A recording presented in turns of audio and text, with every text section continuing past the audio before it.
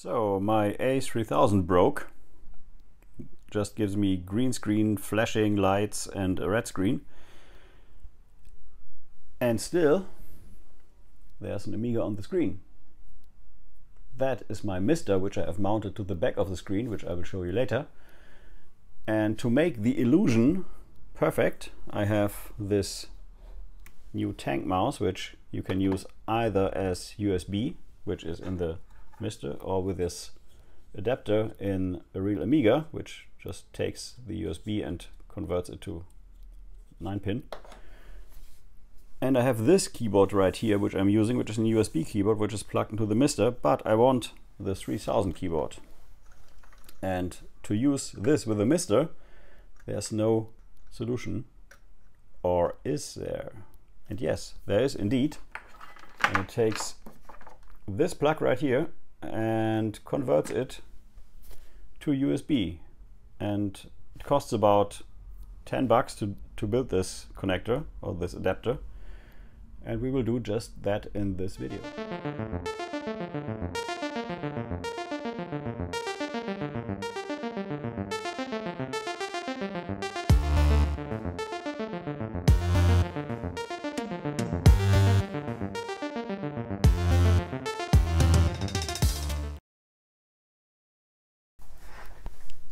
Okay, let's build this adapter.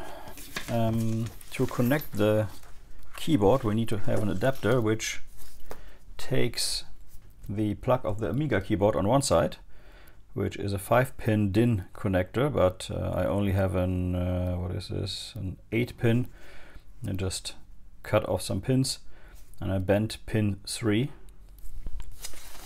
because it's not used. So here's pin, pin 3 which is bent to the side, so we won't solder any um, wires there. Now we'll use simple DuPont cables for now. We'll cut these off, uh, solder these ends here, and then I can just uh, plug them into the um, Arduino when it's finished. I did already put the cables inside this little uh, cover here so I don't forget. Yeah, so I, with the power of my brain, reverse engineered this PCB. Wasn't too hard, just had to draw some lines.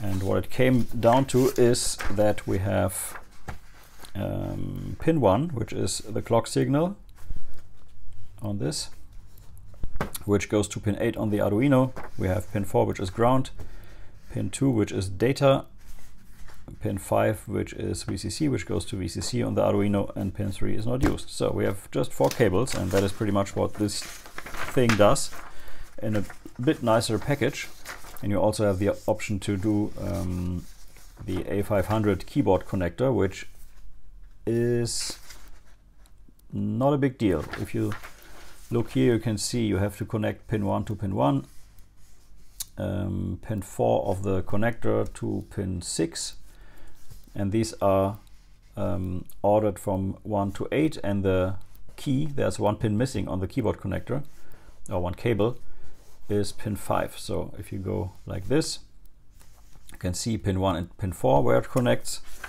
And you can see that pin 6 goes to ground and pin 4 goes to VCC and like that you have all the cables you need. Let's build this cable which is just cutting off ends and soldering four wires. So see you in a minute. That's it. All cable is on. That gives us the plug. We'll now bend this back so that I can put the cover on. Press this together so the cables have some strain relief.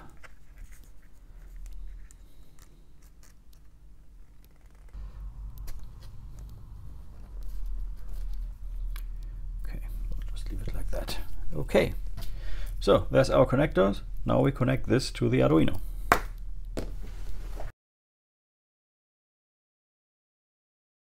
I'm on my Windows machine and uh, here we have to open a new browser, go to this website.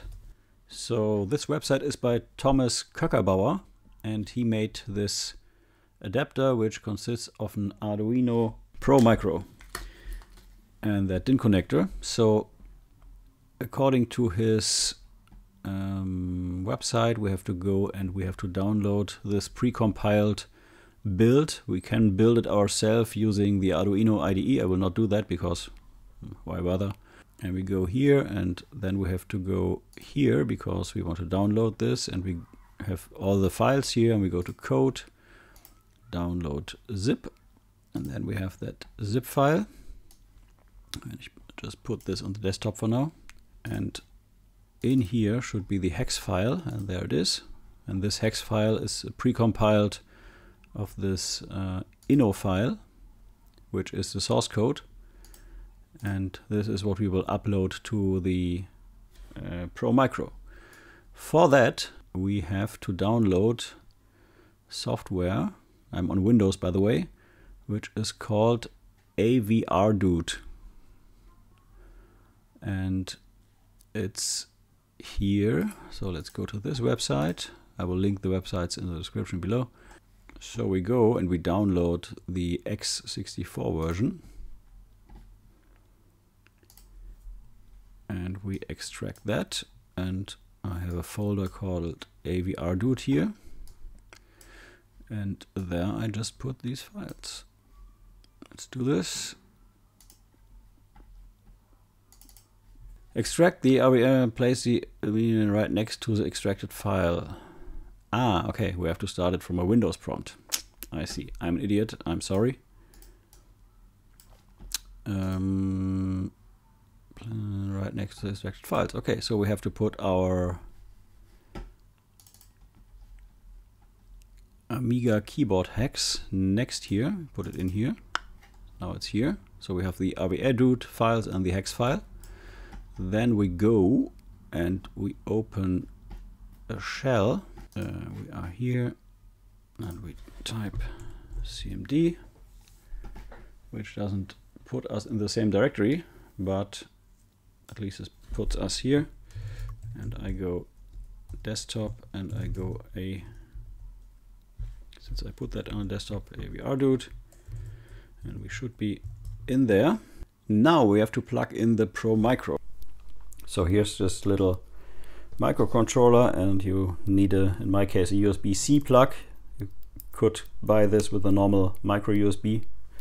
And then we just go and plug this like it is into the PC, I think. So I did plug it in. Serial port will be recognized as new COM port. Ah, okay, let's check device manager.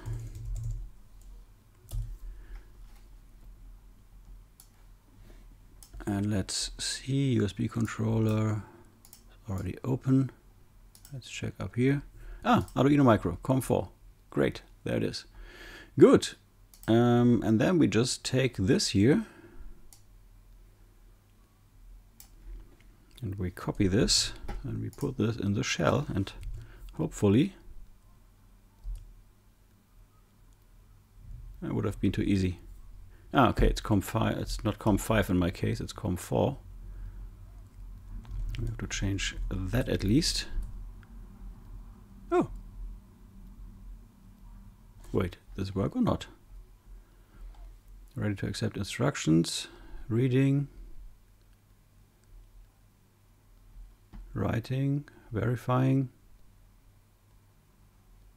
I think it worked. First time. Wow, that, that's the first time for me that something worked the first time. Especially for these microcontrollers, which I really, really hate because you always have to. Sometimes it's just a wrong USB port or something like this. They are very finicky. So great. Okay, that seems to be flashed. Nice. Okay, I think that's all there is to it. Uh, let's unplug this and we can use, as I understand it, the same USB cable to just plug into any device and see if it recognizes the keyboard then when the adapter is ready. So now it's just a matter of connecting the DIN connector to the Pro Micro. Let's do this. Okay, the Pro Micro is programmed and uh, you can see here are the here's the description of the pins and we need pin 8, ground, 9 and VCC. So we have to connect the ground lines which should, uh, should be three off, yeah, three. Uh, and we have to put VCCs there. Yeah, first I wanted to put the header on, but it's much more compact if I leave it like that and can, I can just wrap some uh, tape around it and have perfectly flat connector. So I will, I think, just use this and cut off the ends and solder to the thingy here because I have to do some soldering anyway. Okay, so let me do this and then I will show you.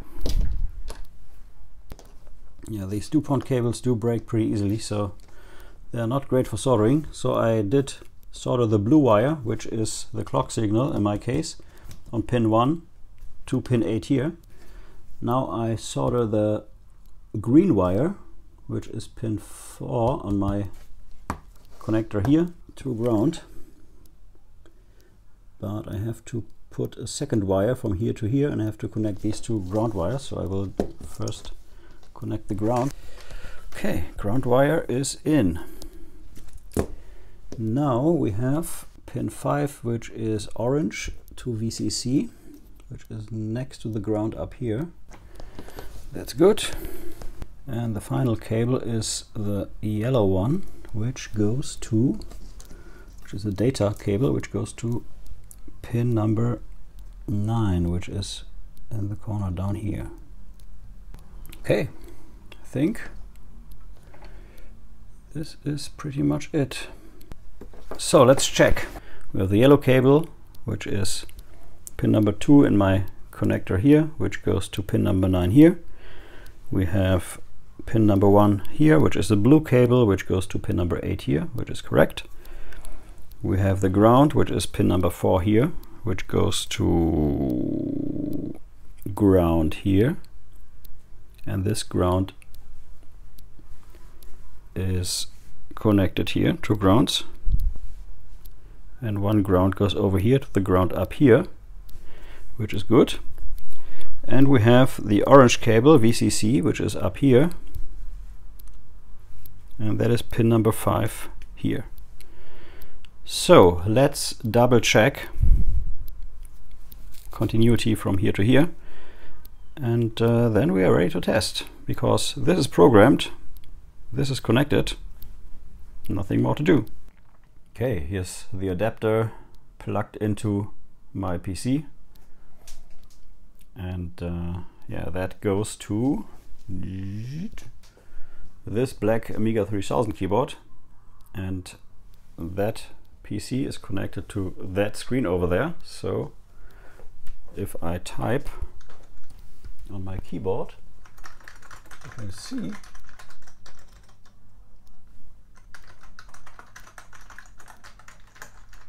freaking works. Freaking works. Even the caps lock here, as you saw. Yeah, I'm pretty happy with this. So now I can can finish my project and attach this keyboard to the mister, which is on the back side of the screen. There it is. Right now it's mounted with one of these VESA uh, metal plates to the monitor. I can switch it on here. And then it lights up and goes off and it does. We are quick enough, you can see that. Oh, now switch off the screen now. It boots if I start it,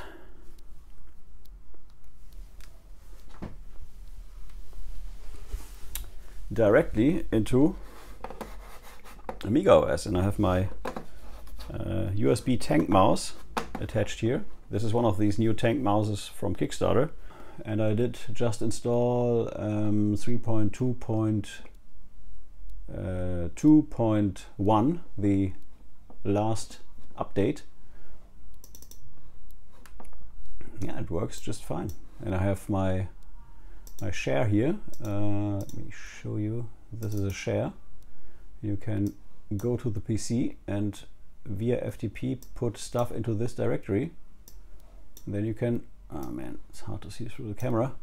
Then you can uh, actually, if you put it in uh, via FTP into the directory on the PC, it shows up here, which is quite nice. I have my work directory, I have the Picasso driver installed so that I have the higher resolutions which I don't use right now. Let me show you. So this is pretty much a dream Amiga. Uh, where is your screen modes? You can see here are the MiSTer screen modes which you can use. Yeah.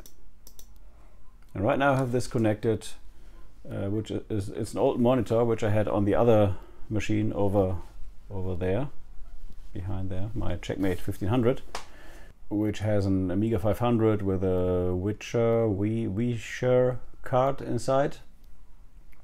Yeah, turns out this MiSTer Amiga is pretty cool. Yeah, so if you want to, to, to know, so if you want to know how I set up this uh, Amiga on the MiSTer, which was quite some some work if you don't know how to and have never done it, um, I can make a video about this because this is pretty much the best Amiga you can get. And if we do a little sys info here, let me do this. So right now I'm using this USB keyboard here, which I have stickers on, and I have used this um, for the MiSTer for quite some time now. But it's much cooler to use a real Amiga keyboard, and I have the plug already unplugged from the 3000 because the 3000 uh, has problems and I knew that when I bought it but it worked fine for a while and now it doesn't. It just shows a green screen and then a red screen. And before it showed a yellow screen which I have fixed but uh, I'm still on the green and red screen so I have to fix that.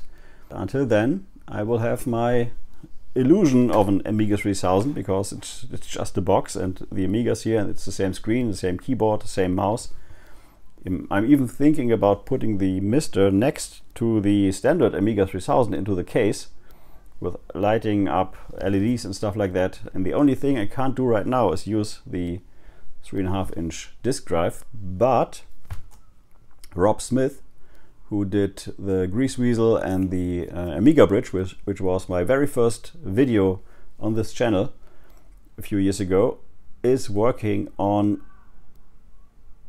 a driver to put this into the MiSTer core, so in the Minimig core. So if that works, you can actually emulate a complete Amiga with your MiSTer, and that would be pretty awesome. You can already do this with a Raspberry Pi, and I showed that in my not a real A1200 video, where I used a, um, a Greaseweazle um, inside an Amiga to do just that. So if you haven't seen that, go check it out now.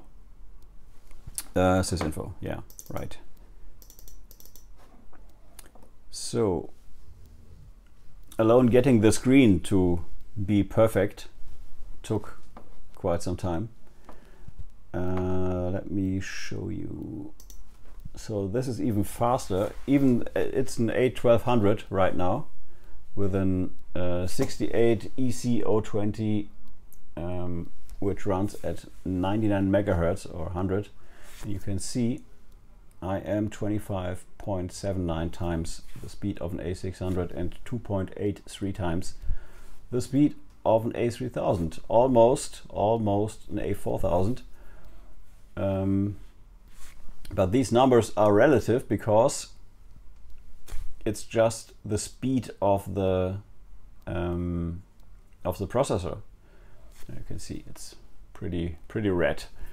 Um, what you don't have is something like a floating point unit, FPU, which in real time or in real world scenarios uh, would give you much better performance and you don't have optimized um, instructions in the processor, which may result in a higher performance on a, on a machine which is uh, higher rated here. So like the 3000 might still be faster in, in some um, scenarios than this machine, that MiSTer here, because it has these optimized instructions in the 68 or 30 or, or 40 or, or 60, whatever. Yeah, so um, maybe one of the next videos will be me putting a MiSTer next to a real 3000 into an A3000 case, just because I can, and I now have all the things to make it work. Yeah that's it for this video. So I was just cutting the video when I noticed that I actually haven't showed the final product which is the working A3000 keyboard over there on the Mister. So yeah, here's my adapter. I just wrapped it in some electrical tape. And it's connected uh, oh yeah, to my A3000, which goes over the uh, cable, which goes over there. And uh, let me get around, or let's start the Mister first. This it starts up. So keyboard is here, mouse is here. And of course it wasn't that easy um, to connect this keyboard. You can connect it, which is not a big deal, and it basically works, but the Mister has some function keys, like the F12 key with which you bring up this menu. If you take a look at the A3000 keyboard, you'll see no, no F12. And another thing is that the keyboard adapter maps these two keys it doesn't map this one, I think, and it maps this one to this key. And you have to remap that. And that is, yeah, you have to see because not all keys can be remapped. So what I did is I put the F12 key on the F6 key. And if I press F6 now, I get this, which is pretty important to change disks and stuff like that. So that works now.